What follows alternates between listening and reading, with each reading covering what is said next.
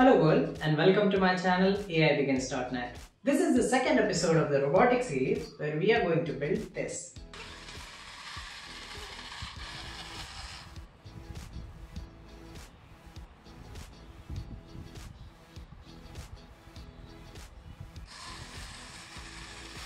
Excited?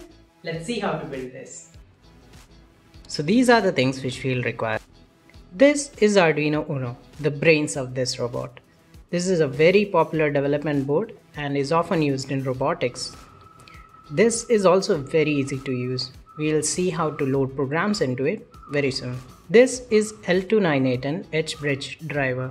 This is used to drive the motors. Arduino is not able to handle large amount of currents.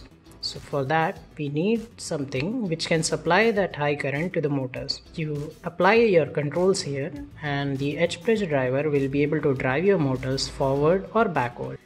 This is HCSR04 allows you to sense the distance between the robot and whatever obstacle there is. So this is what we use to gauge our distance and allow our robot to make decisions. This is SG90 servo. It allows you to control its axle in precise degrees by giving it a suitable signal on its control pin using Arduino.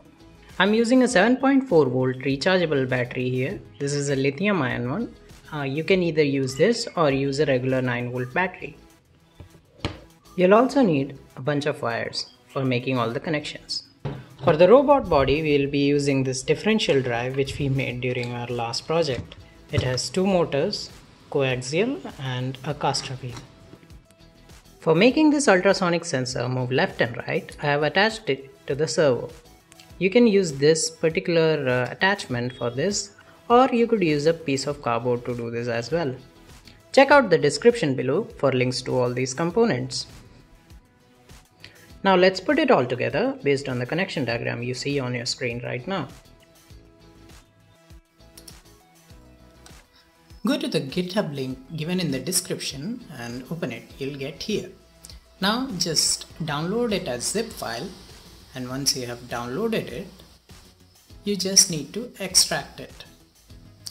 Now once you have extracted it, go to the obstacle avoider folder and open up the INO file. This will open up your Arduino IDE. Once you have that, we just need to make a few changes. So go to your boards menu and change your board to Arduino Uno which we have used in this project. Once that is done, all you need to do is click on verify and if the code compiles without any error, you just need to click on the upload button.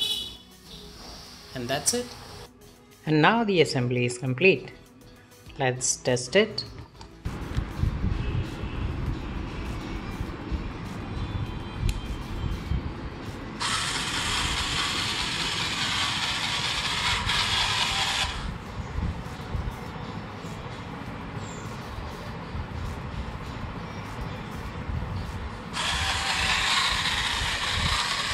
Done.